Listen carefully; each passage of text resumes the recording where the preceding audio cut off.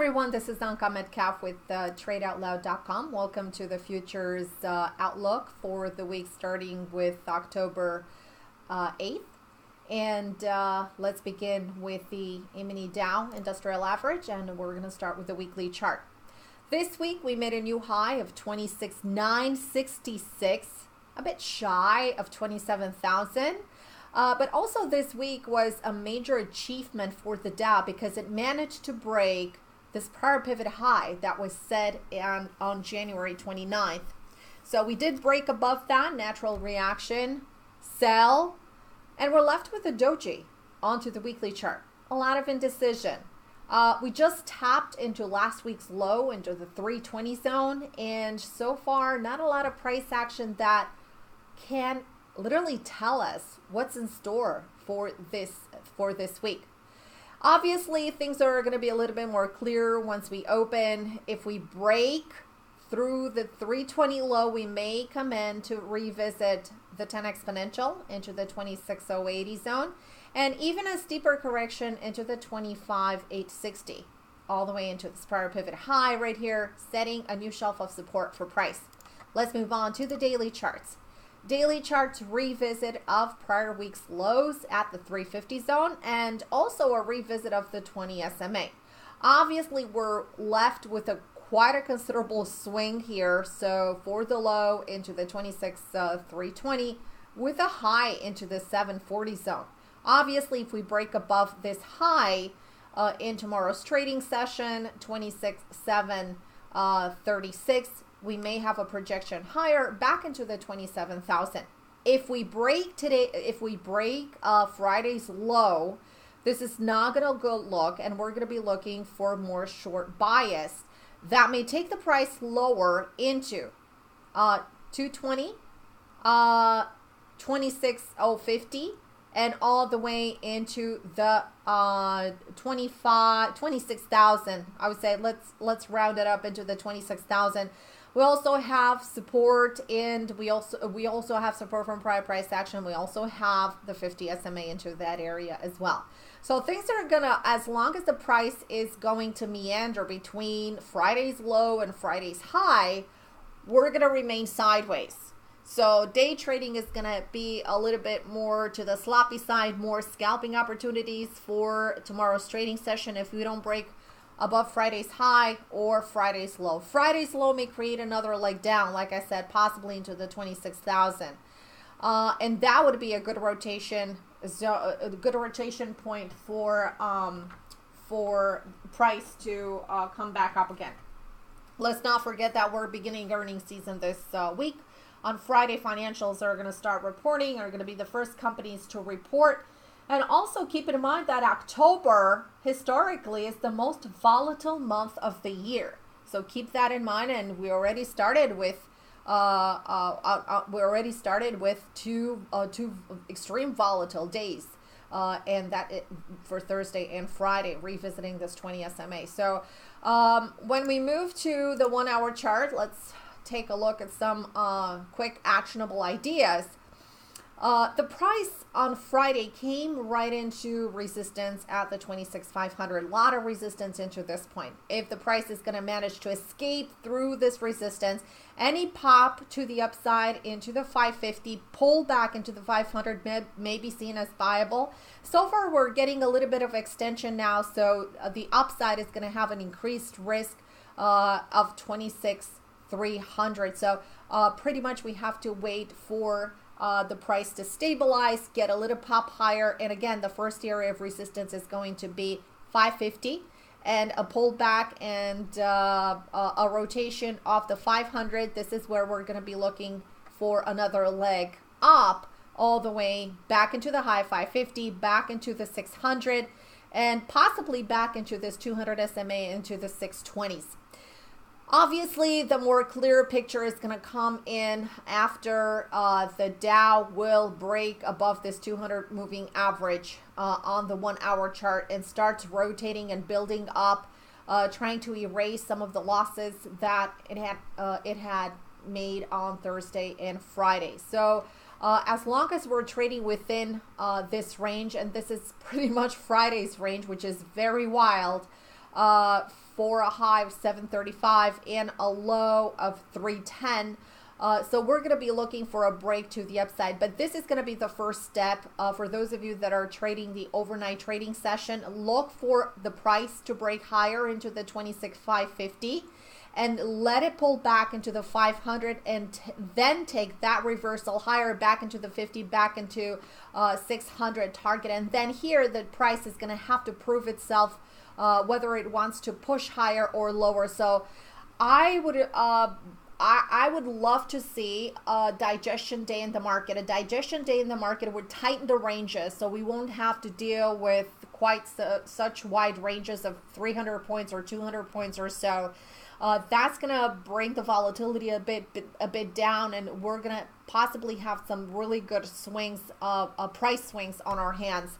Uh, obviously, tons of support here from prior price action. You can see that last Thursday and Friday. So we're not really down that big because we still have support from last week. So we basically erased one uh, one week of trading session. Another way of looking at this chart is seeing um, uh, act- actually seeing a head and shoulders pattern, uh, with this being the head, the right shoulder, and the left shoulder right here. So this would be the neckline into the 550. So that's one of the that's one of the other reasons why I'm looking at the uh, 550 as being that line in the sand. If we break above the 550, then uh, most likely uh, the price may push to the other side. Charts are a little bit complicated this uh, to start the week. Let's hope that they're going to clear the way. The uh, the ranges are going to uh, um, uh, are, are going to become a little bit more tighter. Uh, because what we see right here is very very sloppy trading and very very um, um, you know for day trading purposes it's more like a scalp territory than anything else all right and uh, and all these scalps and i want to highlight something uh, you know when we have these volatile moves, uh, stick to a very firm bias. Obviously, we're into a very strong uptrend. And after two massive selling days, uh, where you had really wide swings pretty much from 700 to 300, uh, and then again from uh, almost 27 uh, 27,000 uh, all the way here um, uh, into these lows when when we uh, when we opened on uh, on Thursday, uh, uh, seven seven twenty eight. So we you can see that we have really really wide ranges that we need to deal with, and sometimes we will have to uh, take uh, two or three trades in your initial direction before uh, before you give up on your directional buys. But I think that.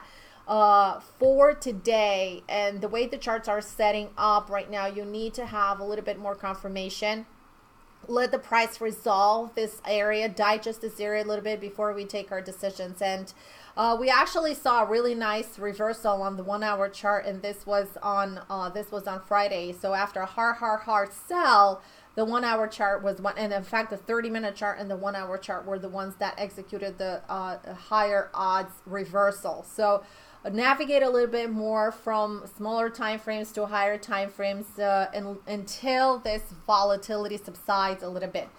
Uh, let's move on to the mini S&P and we're going to begin with the weekly chart. Uh, the weekly chart is revisiting not only the 10 EMA, uh, but it's revisiting and it's finding support at this prior pivot high. So, from my perspective, uh, and from what, what I'm looking at the charts, I think that we should still be bullish because we're just revisiting some very substantial support levels, uh, especially on the weekly chart. So uh, we're I'm tempted to be 85 to 90% more bullish on this pullback than anything else, just because of these weekly support levels. 2880 is the new support level on the weekly chart. Let's zoom into the daily chart. Daily chart revisit into the 50 SMA double bottom uh, from last week's low. Uh, and uh, and also sept- uh, beginning of September. I'm sorry, beginning of September low, and we have the really nice potential of a reversal. Obviously, if the price is gonna peak above the 20 period uh, moving average, the 29 uh, 29.16 to 29.20, I would be more aggressively bullish at that point. Uh, but don't forget that exactly at the trigger point, we do have resistance from this prior pivot high exactly into the 20 zone. So things are going to be a little bit more complicated. Let's move on to the 16 minute chart for some more uh, for actionable ideas, in fact. Okay, here we go.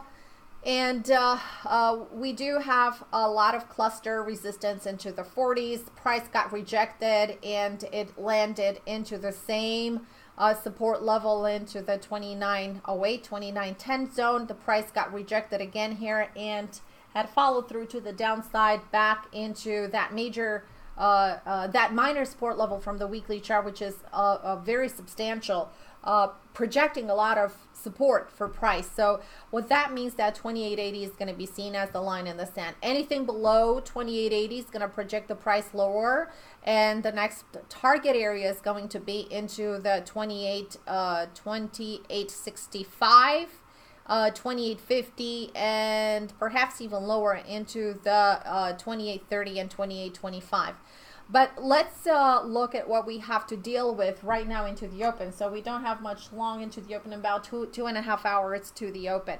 So we had a really nice reversal on Friday towards the end of uh, the day uh, where the price has recouped quite a bit from that uh, from that fall. I would say about 50% retracement from that uh, from that York trading session high uh, tangled into the 10 exponential moving average, came up with a vengeance and uh, ended the day on a high note.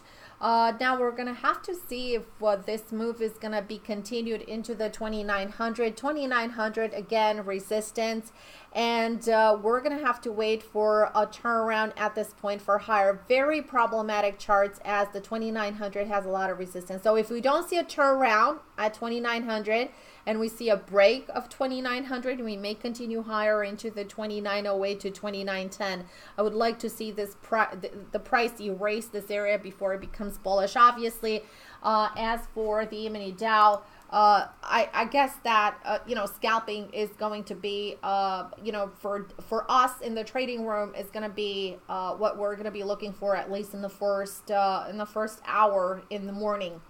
Uh, Nasdaq uh, NASDAQ, let's begin with uh, the weekly charts. Weekly chart visit right into uh, the 20 SMA. Uh, and as you can see, right mid cluster right here. So it's really in a very good position for a bounce. And we actually saw a really nice zip up of the price right here.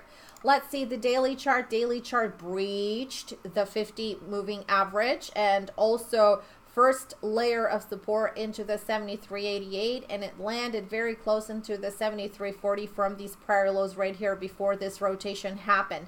So right now we have the one two three four bars down from the daily chart. So i would say that if we get a push over 50 75 50 is going to be the line in the sand. There's no doubt about it uh, we're gonna get a push higher. So this is uh, this is the bull line for Nasdaq, and some of the Nasdaq stocks are still very strong, like Apple and um, Microsoft, etc. So uh, they're they they still look positive.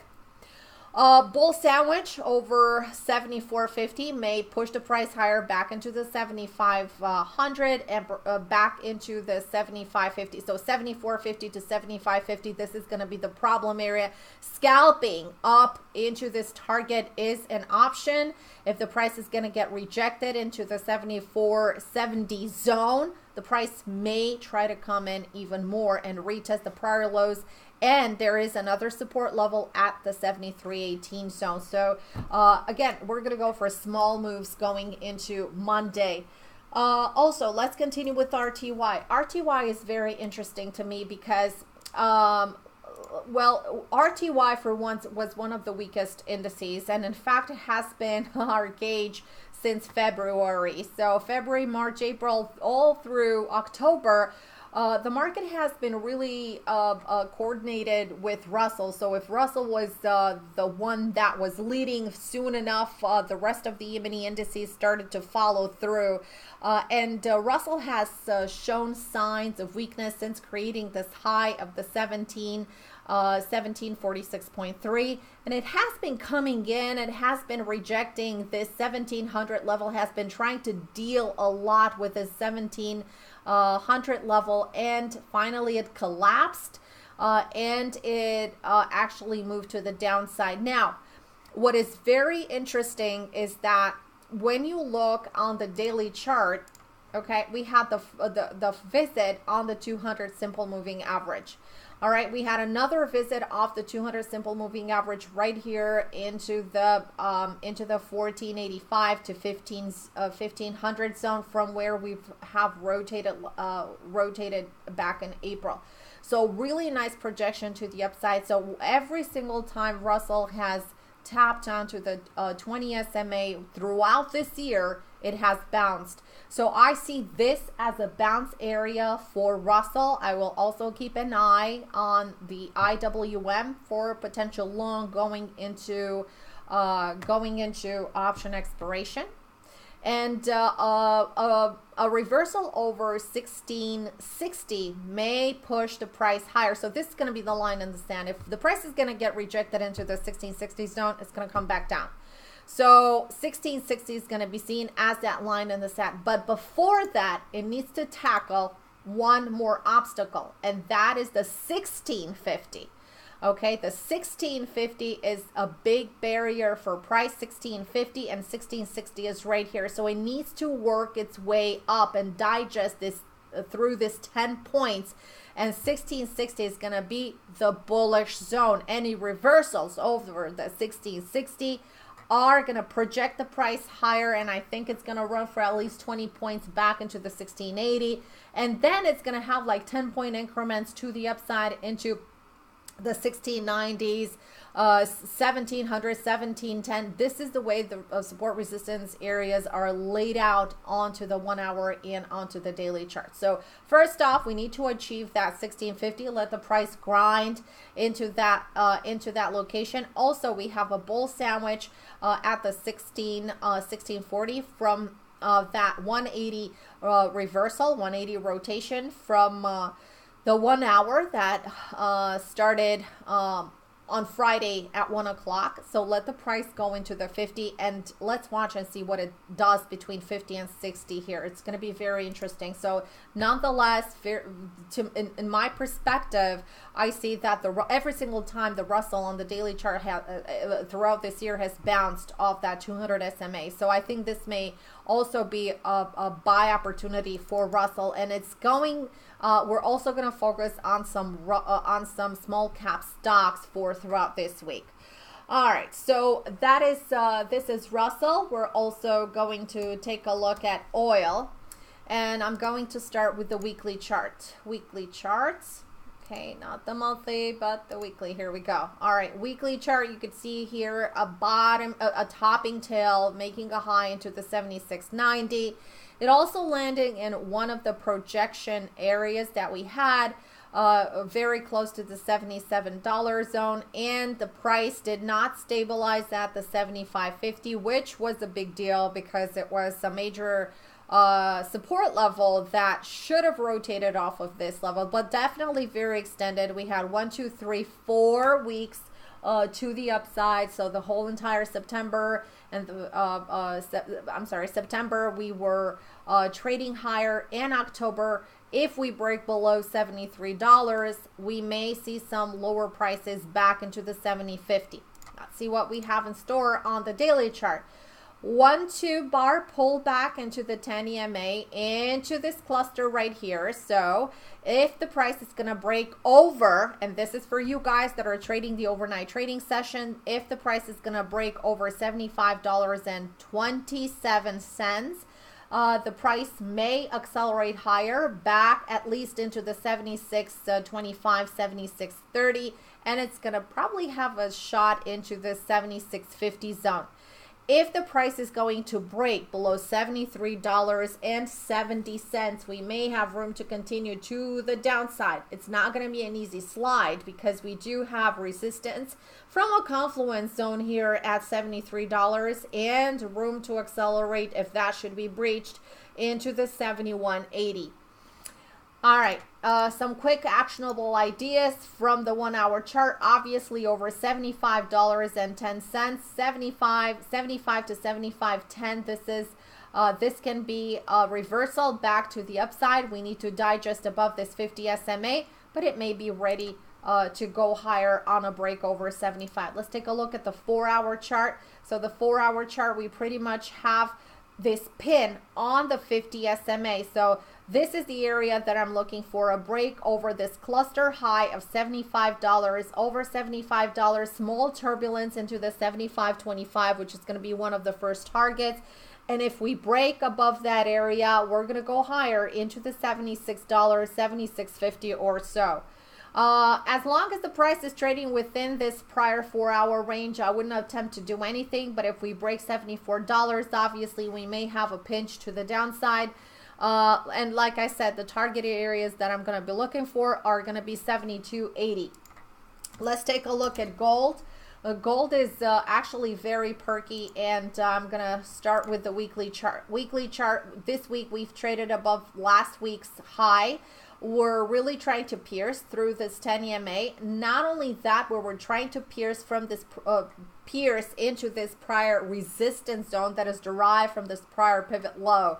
Uh, this is kind of interesting here because we're trying to have the bottoming effect. What this means is that we have our low set up, and if we manage to do this 180 reversal here over uh, 1210, we have our set, uh, our uh, actually first a higher low from this prior pivoting area that may create price acceleration all the way into the 1220 zone. So that's a good first target. All right, let's move on to the daily chart. Daily chart, any erase, uh, any uh, the price may erase the 1210 zone. Uh, and if it will erase that area, this can be a good buy into um, the 1210 zone. Uh, and we have tried for the last three days, uh, Thursday, I'm sorry, uh, Wednesday, Thursday, and Friday, we have tried to hold into this key 1200 zone. In fact, we have a low of 1199.4. This is going to act as the new support level for price. So uh, moving to the one hour chart, this is what we see. So we see a range. You can see the support right here uh, into the 1199 from this prior pivot low. We also have support from these prior lows uh, before we hit the bottom uh, and we established a new bottom into 1184 here. But um, and this was this this is the higher low that we spoke about on the daily chart and on the weekly chart. So right now we're stabilizing a little bit higher. For those of you that are looking for patterns this may be an inverse head and shoulders this being the head right here uh, this being the right shoulder and the left shoulder shoulder this should uh, this can be the uh, this can be the neckline. So a break over 12 10 may create some more buying pressure that can uh, um, move the price higher into the 1220 zone 1225 1230 and even 1235 so it has a really nice potential for a run up uh, into the 200 SMA on the weekly chart which is into the 1235 zone uh, the risk is going to be a little bit increased here, but on the first break uh, into the 1250 zone, this uh, pullback here may provide us support, so we may lock in the trade at break even. So this is really nice. It has a higher risk a little bit here, uh, 11.99 for the stop, 12.10 for the entry, and once it gets into the 12.15 zone, I would lock in break even in uh, in gold. Let's continue with uh, heating oil and uh, we're going to go through some commodities here. We're going to begin uh, with the weekly charts and let me just erase these alerts that we've had. Uh, as you can see heating oil has the pretty uh, has the same pattern as oil. So we have a topping tail right here sort of like a hammer. Uh, so we're we're pretty much entering into the stall phase, and I think that we may not push into uh, these oil stocks for this week. I think they might may take a break uh, and digest these highs right uh, right now. So if we trade, as you can see, we pretty much closed at the 2.3889. But if we break below this low of 2.3414, we may have a, a more of a pull in into the uh, 2.27 area. So not ready yet for uh, for a trade just yet. Uh, also, pull back right here, one two bars from the high in the middle of nowhere, still uh, trading into a lot of air. We still have the 10 EMA at the 2.36, still not ready yet. Uh, the one hour is curling down a little bit. We have the 200 SMA here, which is a confluence zone at 2.3667. Um, the trade is not ready yet, and if you can see, we have the same uh, the same kind of pattern, the head and shoulders. So we have the uh, head here, right shoulder, left shoulder right here. So this would be the neckline into the uh, 2.3830. Uh, so any break of this uh, neckline will bring the price a little bit lower here. All right, let's take a look at RBOB. And uh, RBOB onto, let's uh, start with the weekly charts. All right, here we go. Weekly chart, thin indecision bar, actually a little bit weaker than heating oil and oil altogether, but sitting on the 20 simple moving average. If we break below this 20 simple moving average, I think that we may still come in way more back into the $2 zone. The hourly chart, a little bit choppy. So from this high that was established uh, this week, we are starting to roll a little bit to the downside. We are trading ab- below the uh, 20 sim- uh, 200 simple moving average. Any uh, 180 rotation over this area, over the 210 and back into the 212, this eraser right here uh, this price if the price is going to erase these highs right now uh, in in the upcoming days uh, the price may move back to the upside. All right, uh, let's take a look at copper HG. We have some, we had some selling in copper on Thursday and Friday. Let's begin with the weekly chart. The weekly chart is into a sell pattern. I think that uh, it is into a sell pattern, but it's also onto uh, the 10 EMA. As if the price is going to remain between 275 and this high of 286, we may move a little bit higher okay? We may move a little bit higher. And the daily chart suggests that if we move above this high of 279 uh 279 40 45 i would say we have a good shot of of a continuation higher back into the 284 or so. All right uh natural gas. Uh let's begin with the weekly chart. Okay there we go uh, natural gas had a really nice rally into resistance. Uh, 2.25, it rallied into the 2.3. Uh, I'm sorry, 3.266. Uh, and right now it's still holding um, uh, support level of 310. As long as the price is going to remain stable into the 310 zone, uh, this is going to be bullish possibly projection back into the upside. And same goes for the daily chart. As you can see here, pull back into the support zone. We're going to have to wait and see how the support zone is behaving. I agree, there's a lot of resistance into the 325s, but we, we just have to see, uh, we just have to have more information on this pattern. Last but not least, the bonds, and this is the 30 year bond. Uh, we had the breakout. We have been discussing this breakdown for quite some time. And as you can see, this year was pretty much a steep downtrend. The price tried to stabilize for like one, two, three, four, five, six, seven, eight months before we had the breakdown lower below 140. We often talked about this in the trading room. Uh, a break below 140 is going to bring targets of uh, uh, 137 and 136. Uh, we have seen these targets achieve. Uh, we're into some minor support level uh, from these prior pivot highs from the from the weekly charts, but being such a, a trouble pattern and being such a, a you know kind of like a downtrend uh, sort of pattern, uh, we may still see lower prices in in the bonds and. Uh, the next target area that I see achieve is going to be 135.31 and that is uh, 135.31 for possibly in this week or in the next couple of weeks or so. All right, let's move on to the daily chart acceleration to uh, to the downside. Any break to the upside into the 139 uh, or 139 or even 138 uh, area and a rotation, the price rejection at that point may take the price back lower again. All right, guys. Thanks so much for tuning in. Hope you all have a fantastic week. Uh, remember, October, still a very volatile week. We begin earnings season on Friday uh, with some uh, major financial uh, companies that are going to report. So uh, enjoy your trading week and have a profitable one. Do your work. And I'll see you in the trading room on Monday at 9 a.m.